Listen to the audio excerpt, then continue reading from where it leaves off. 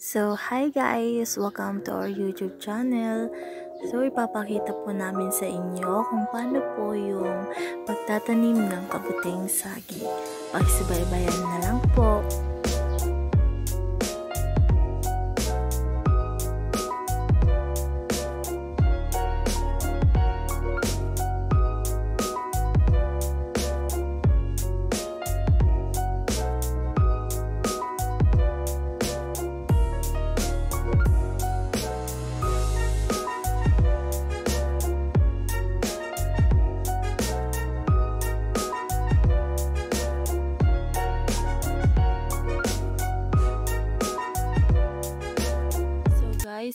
Po yung process na ginawa ng papa ko.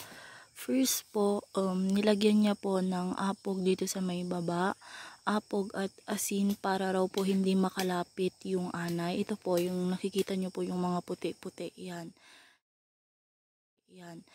Then, ang second po is nilagyan niya po ng dahon ng saging. Na siya naman na siya naman pong magsisilbing patungan kung saan ilalagay yung yung mga ita, yung mga dahon ng saging na siyang pagtataniman po ng kabute. So after po noon, nilagay na po ni Papa yung mga pinutol na mga dahon ng saging na ibinabad na po niya. Ito po. Yan. Then after po noon, nilagyan niya po ng abono. Lagyan niya ng abono. Ayan. Hindi makita. Ayan po. May mga abono po yan. Hindi lang po halata. Pero meron po. Then, nilagyan niya po ng binhi. Yung binhi po. Ayan po. Ito. Then, itong madredi cacao. Para kahit pa paano is mainitan po. Ito pong dahon. Yan po. Tapos mamaya na po yung second process niya. Ganun lang po yung process. Papatungan ulit ng dahon ng saging. Tapos lagyan ng minhe, abono. Tapos yung madre ni cacao. Yan po. Yan.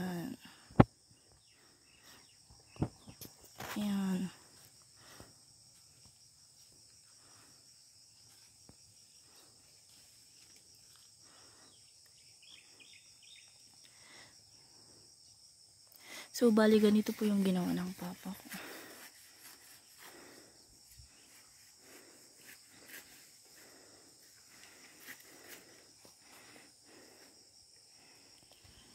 So guys, yan, naglalagay na si Papa ng mga dahon na kanyang puputulin. Kasi po, nagkulang po kasi yung mga dahon. Kaya ayan, naglalagay na siya.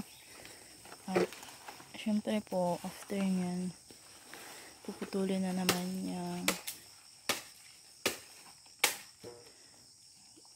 Doon po binabad yung mga dahon ng saging. Yan.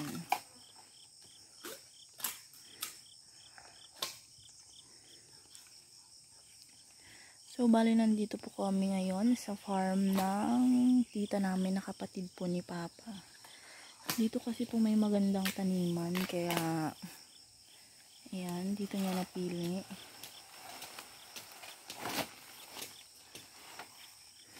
Ayan, maganda nga dito kasi sariwa ang hangin eh. May mga tanim pa ng mga palay at yun mga mais. Yun. At may pinya din po doon. Yan.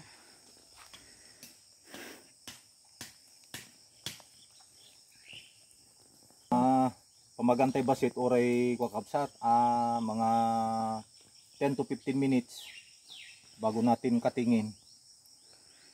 Kasi ka, kapag ah, masyadong basa, hindi gagapang yung ano amag niya. Katamtaman lang.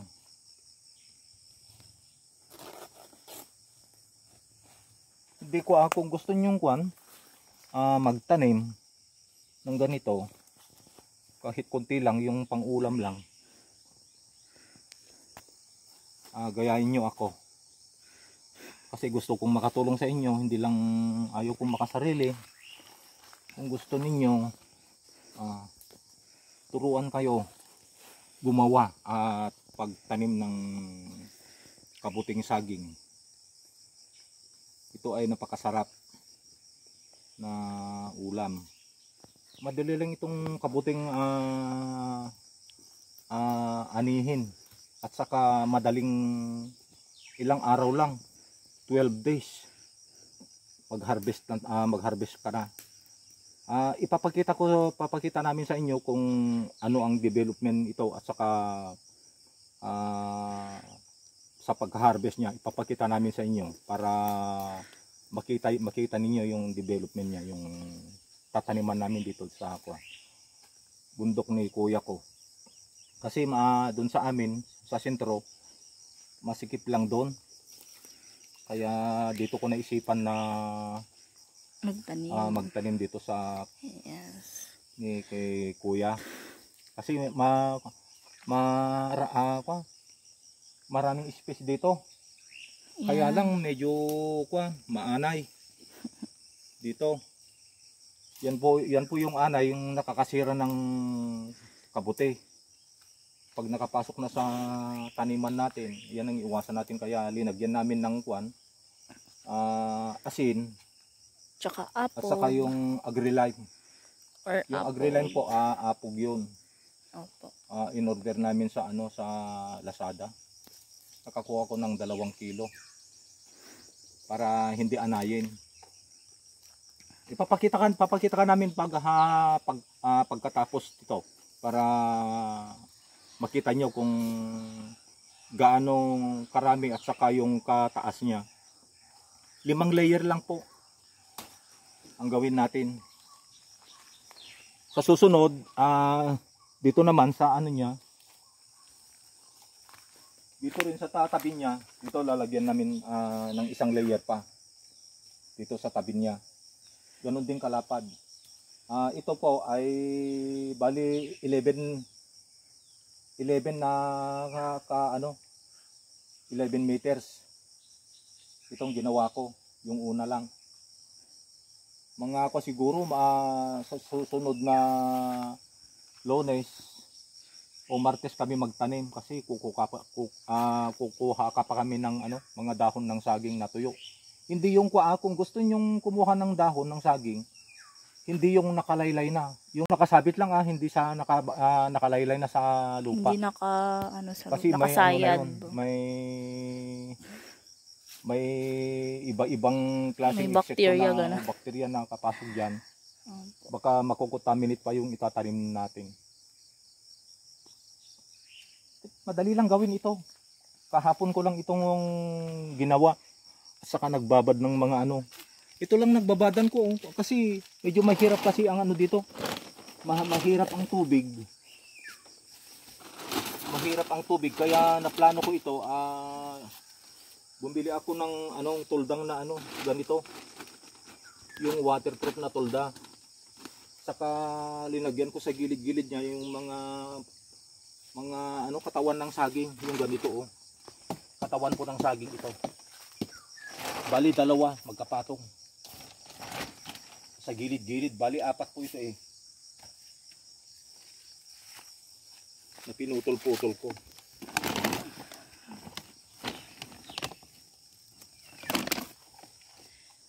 So, sa part naman po na ito is, ito po yung ginawa ng papa ko na siyang siyang gupitan or kung saan niya puputulin yung mga dahon ng saging na kanyang ibinabad. Naka-measure na din po yan. Kaya kung makikita nyo, yan. May measurement na yan. Kung gaano siya kahaba. Ganun. Yan. Yan. Ayun na nga po yung papa ko. Naglalagay na siya.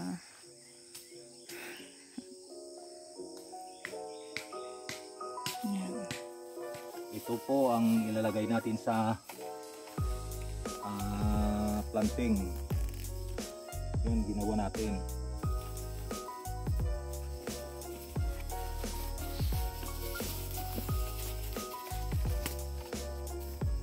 Ito po, oh, ito. Yung ganito.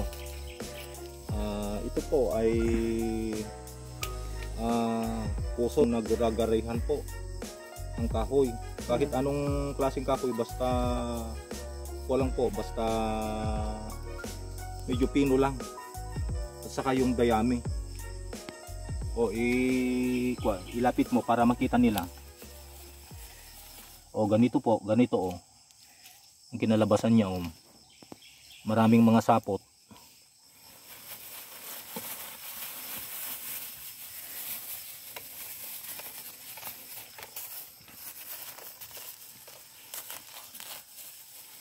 Bale, apat na ganito ang ilalagay muna natin.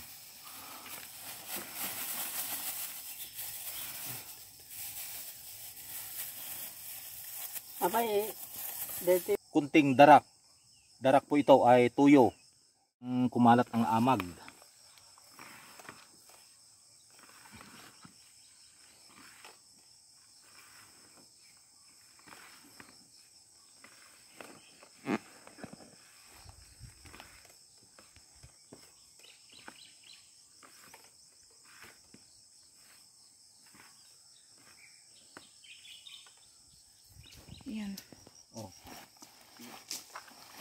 So, yan na po yung sinasabi ko na second process. Second layer na po yan. Yan. Yan.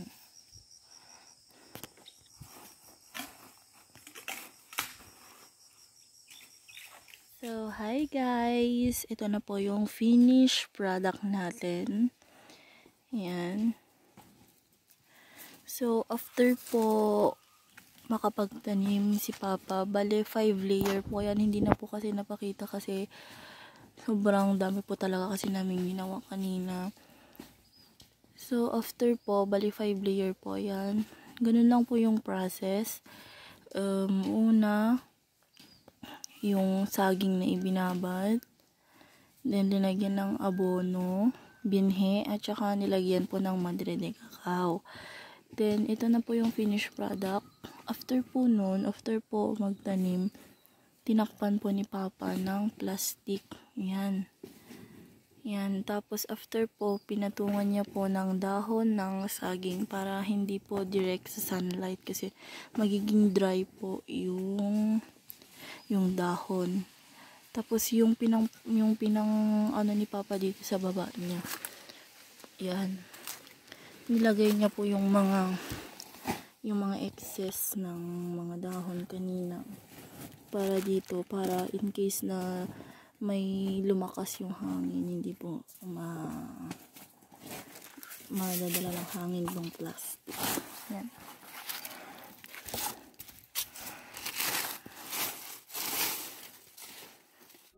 So guys, dito na po nagtatapos ang ating video.